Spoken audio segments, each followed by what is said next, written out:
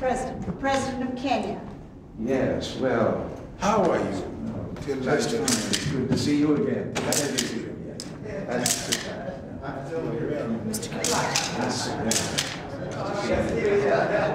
Well, let us come in, take the chairs over there.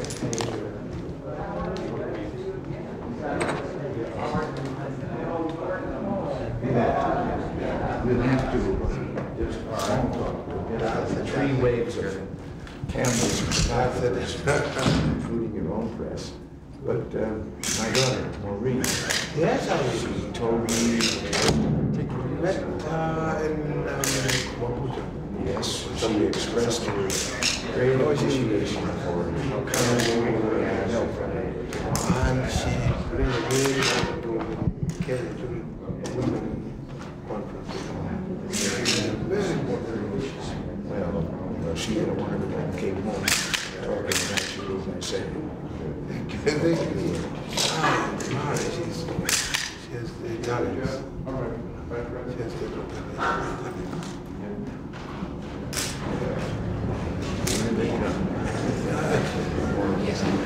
Yeah, no, no.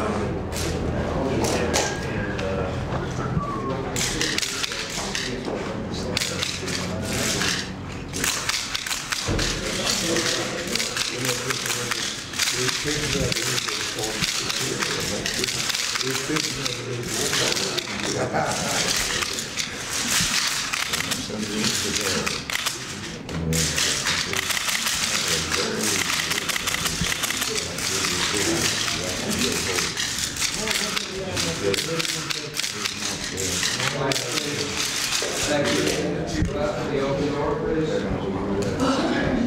Your country captain is giving me this. He's asking me where it is. I wish you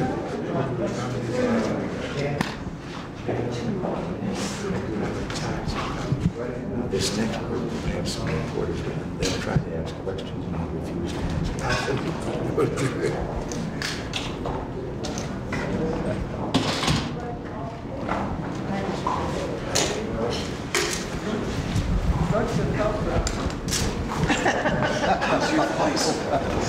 Sarah, you know, it was a funny thing, you were all hardly out of the room and when I recovered my voice.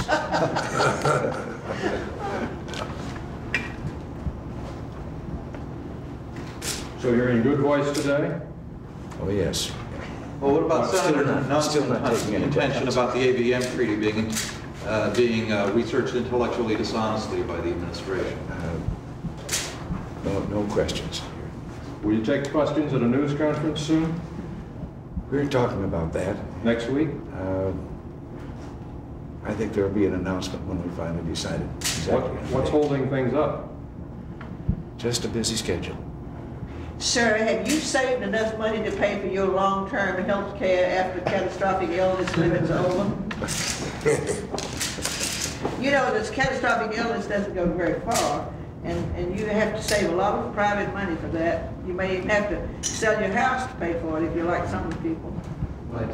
That's why we're taking action on it. We haven't heard much about South Africa policy lately. Uh, What have you got to tell President Moi about that? We'll be having quite a wide-ranging discussion. Thank you. Did you talk about human rights? Human rights in case?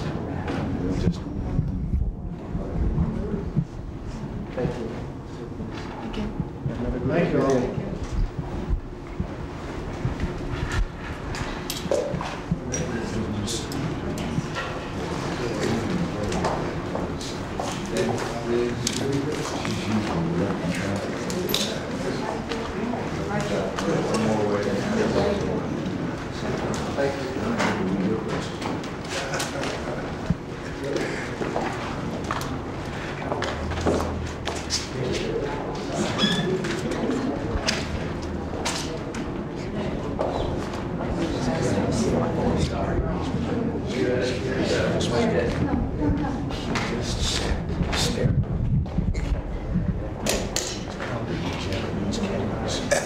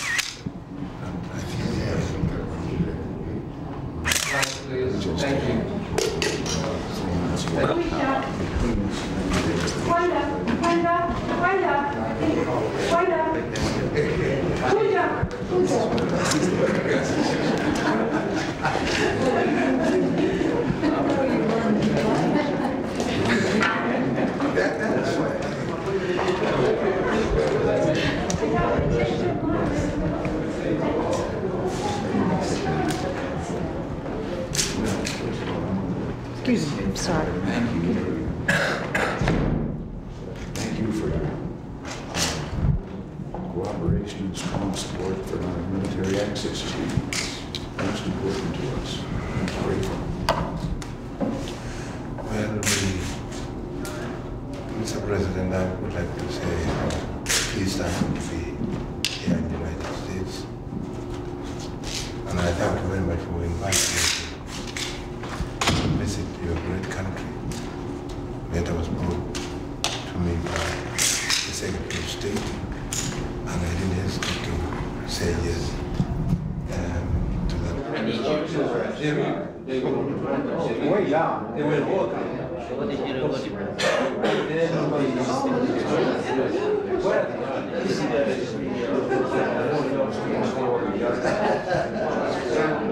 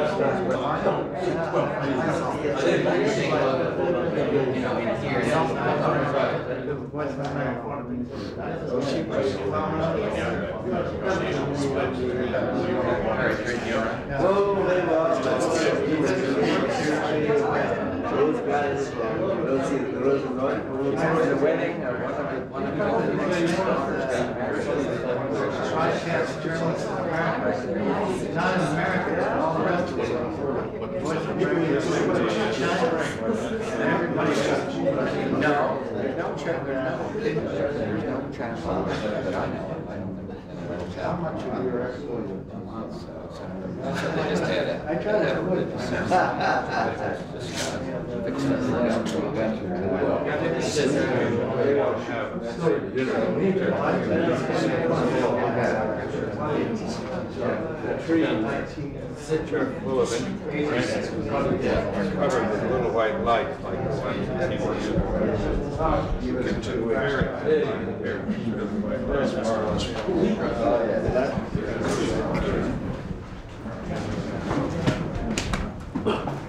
See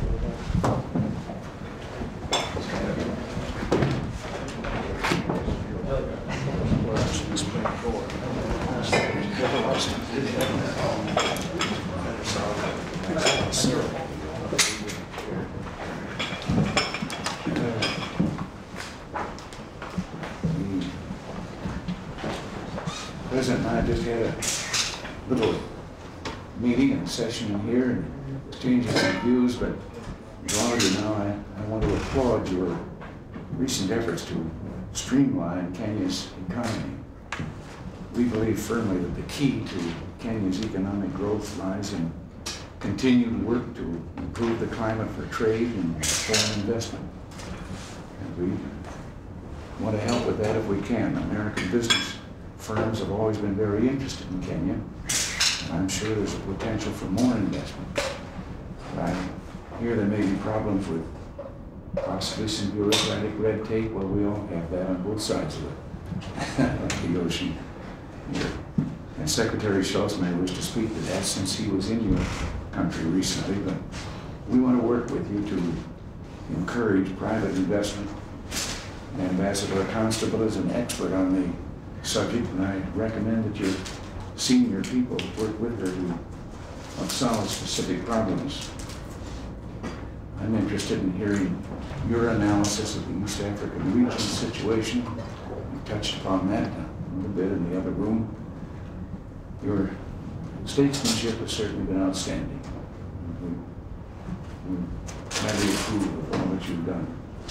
In the Sudan, I hope you do all you can to, to bring the two sides together for talks to end their civil war there. And in Uganda, we share your concern about Gaddafi's foothold there. We hope in the interest of regional cooperation that you maintain good communications with President uh, Museveni. And uh, I've talked long enough now, I think you possibly have an agenda that you would like to touch upon.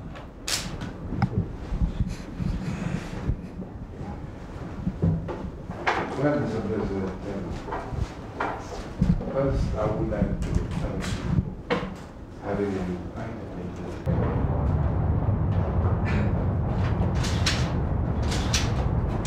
It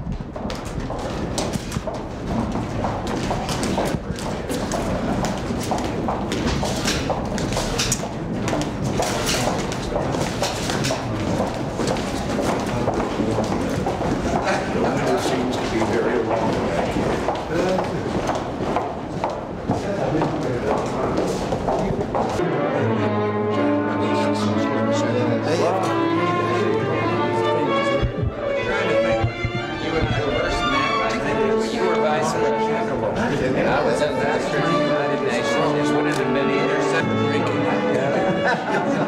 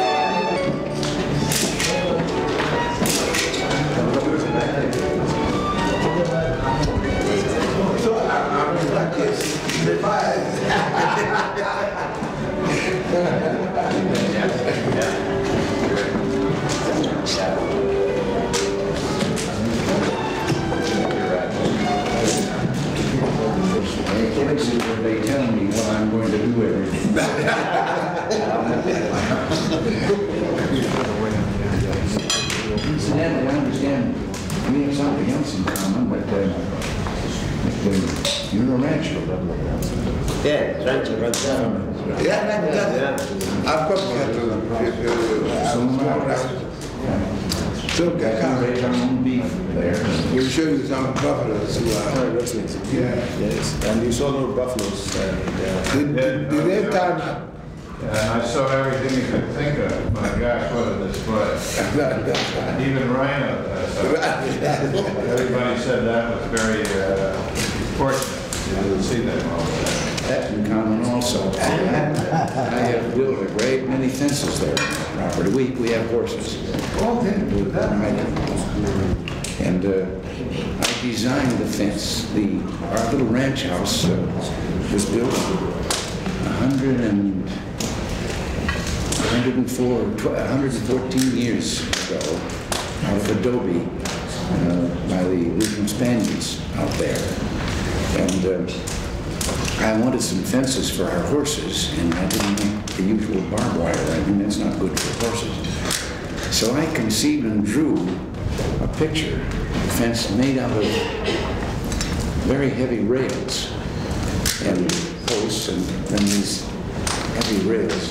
And I thought the best place to get those were old telephone poles. And I called the company in California there. Governor, and I said, I know that you have a lot of poles that you take down and so forth, and, and they can't reuse them, and they, they usually, they're a problem for to dispose of.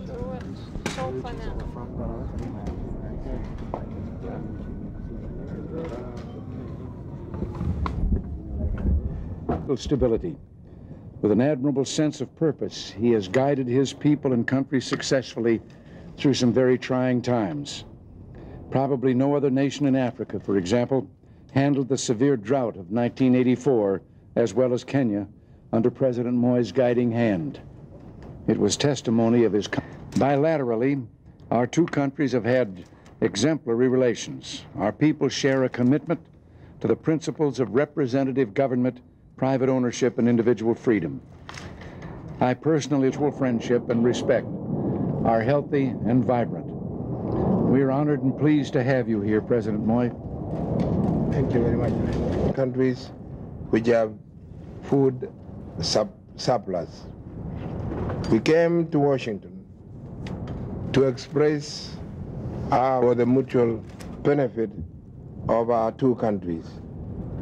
Kenya is proud of its cooperation with the United States of America. Our discussions with President Reagan today covered of giving incentives to farmers and agriculture assuming the highest priority it deserves. This is what has the values of human dignity our two countries cherish are being abused daily. An end to apartheid is inevitable, and the sooner it comes, thank you.